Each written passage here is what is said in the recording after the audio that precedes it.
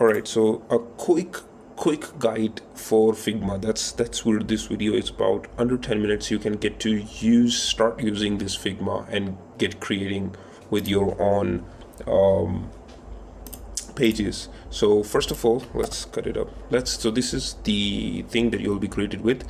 Uh, let's make it let's rename it. So we'll make a first file let's call it that. Now it's been saved as a first file. You come here this these are the frames the the canvases you can say. So you press on the frame and these are the devices. You can go into the tablet mode you can go to the desktop mode um, these are the screen sizes. Let's select iphone 14 for now. And it's a very sharpie so you can change it to these are the corner radius. These are the options that you see in design prototype inspect so we need the design right now. And you select 50 now it's curved. It's looking much more like an iphone right? So uh, let's uh, let's create let's let's make a hello page for instance. So uh, this this is let's create text fold here. So from here I selected this and I can type in hello hello again. Perfect. We select this. These are the fonts options. So we can have a local fonts um, or any other fonts. We can make it extra bold again and we can make it bigger in this font size uh, we can align it to center. We can align a little down so it's aligned in the center. Perfect. Let's let's make it a little more bigger. Bigger. Perfect. Hello again. That's that's so perfect right? Okay now the color you can change it the color through this way like like this. This is that color. Or like this that's up to you. Uh, you in order to change the background color you can also do that as well. That's the background color how it's going to be showing. And in order to change the color of this canvas you can select on the full name and then go into this fill. And then you can choose that change color as well. I'm just gonna give it white here. All right now hello again and we need a couple input fields right? That's the important part in input fields a cards that can be showing an image or something like that. So let's create an input field and let me show you how the input fields are created. So for input field we're not we will be needing a rectangle shape. So let's let's hit the rectangle shape like this. Perfect. All right. Uh, we're not going to fill it to the white color. We're going to keep it as that. And, and, and let's add a text underneath it. Under it I mean uh, like this. And let's call it um, hmm, for instance it's it's just like for enter your name. Exactly perfect. Uh, we need the super light. It has to be super light. It has to be very small. And the color that's the most important part of a placeholder is its color? That's its color. That's its color should be. And now you can select it and you can put it to white. Oops. You can put it to white. But before white that's the background color you're going to be changing white. There's an option called stroke. You add here and the stroke is basically the boundary on that rectangle field. So we do need a stroke. You can select it outside stroke inside stroke and this is for the thickness for the stroke. We'll we'll keep it we'll keep it two for now and again it's looking very very bad for now. Let's change it to white color. Still not looking nice though. So let's add a curves to it. Let's add a radius curves to it. Let's add a ton radius curve now it's looking much much more better. Uh, again the input fields are always starting right here. This is the place where it's looking now much much nicer now uh, these are two components. It has a two components inside all right? So you can combine them but basically it's a it's a one one a one thing. You'll count it as a one input field but it's made up of two components. So in order to combine all this you select both and then you press this button. This is a create component. You do this a component has been created. You can double click on it and you can rename it input field and now you can reuse it again and again. You just command V command command C command V. You paste it here. And now you can change it for like enter password. Um, align it perfectly. Okay that's all set. And what is another thing?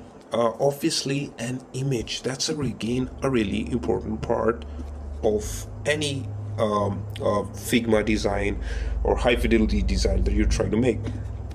So let's let's uh, let's create an image of circle. That's a very common. So we'll create here. And then in order to have it should have an image right? So let's lay profile image um, without any copyright. So let's let's go on the splash. And let's try let's try anything.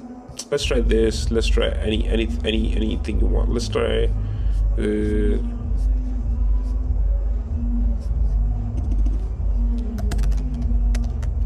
let's say app icons. Let's select any app icon we want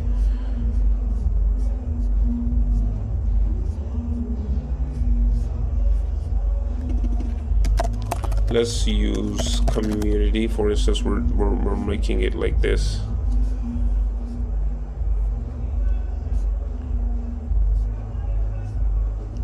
Yeah so for, for instance we'll download it. It's been downloading right now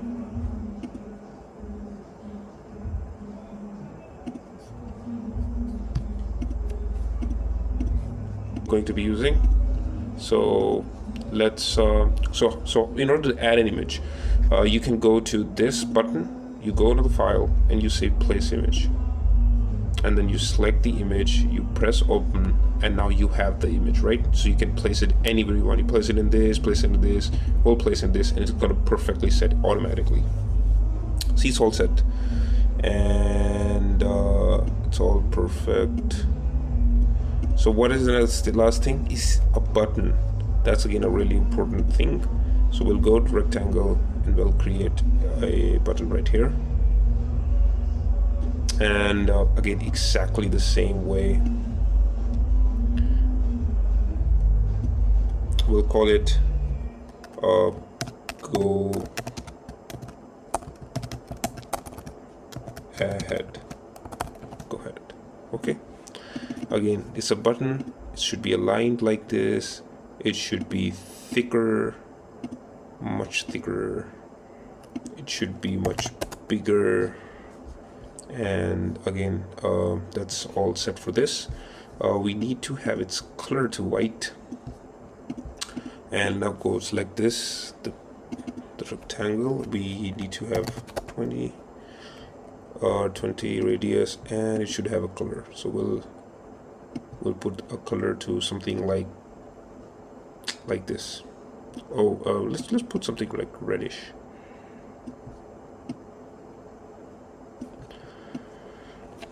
Okay it's all set. Um, let's put a stroke to it as well. You can do the same. Let's put a white stroke or a reddish stroke any any any kind of name you want. Let's put a uh, that's that's the stroke on the text by the way um, in order if you don't want to put it you can just minus it right here. Now let's select the whole component and let's have a stroke on it as well. See it has a subtle touch of a color bleeding. Um, and that's it. That's all pretty much it. That's all you gotta do. Uh, again exactly select this and then do that. That's what you gotta do. Um, now one thing is left uh, that is in order to create um, in order to connect the displays you can also rename it these components as well. Let's call it button okay? So uh, in order to connect the displays you create another frame for instance iphone. That's that's another phone for instance. And we have some content on here as well all right now if i press this button how would i know that i'm going to be directing to this but to this page? How i'm going to be directing to this page uh, is you press here you go into the prototype you press this plus button and then you from holding this you select it right here.